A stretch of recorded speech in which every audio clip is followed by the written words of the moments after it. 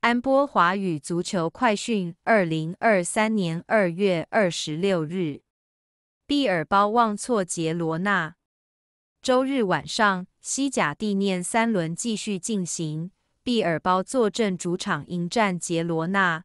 们直播届时将会有本场赛事的现场直播。两队近段时间战绩都是非胜即负，同时大家近五次交锋也能分出胜负。而考虑到杰罗纳克战能力薄弱，金扑不妨看好毕尔包主场称雄。歇东奇回来后的五轮联赛不胜，令到毕尔包与前四球队分差逐步被拉大。幸好近三轮拿下二场胜利，稍微有所反弹，才得以保住积分榜上半区的排名。纵观赛季至今的表现，进攻端地发挥向来是决定毕尔包战绩的关键。在球队取得入球的十三场联赛中，战绩为九胜二和二负，其中首席攻击手奥汉辛斯特取得入球的场次中，战绩为五胜一负。既是巴斯克雄狮入球的保证，也是球队的福将。相比进攻，毕尔包的防守更值得称赞。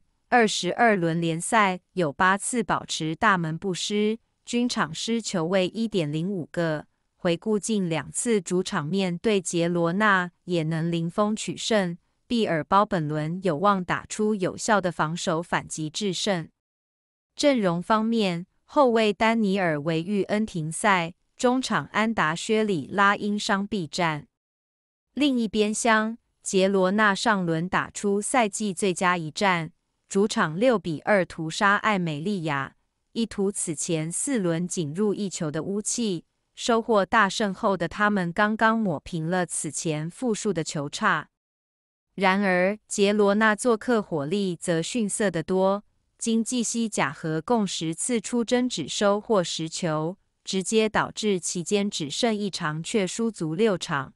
目前处于联赛做客两连败当中，且均未能破蛋。此外，杰罗纳二十二轮联赛仅一次没有失球，与上述的毕尔包形成鲜明对比。而且值得一提的是，杰罗纳目前遭遇较大范围的伤病侵袭。包括后卫恩古图和中场恩祖薛里拉在内，多名球员因伤无缘出征，缺兵少将的他们此行不宜高估。感谢你的收听，请关注我们的频道，还要点赞哦。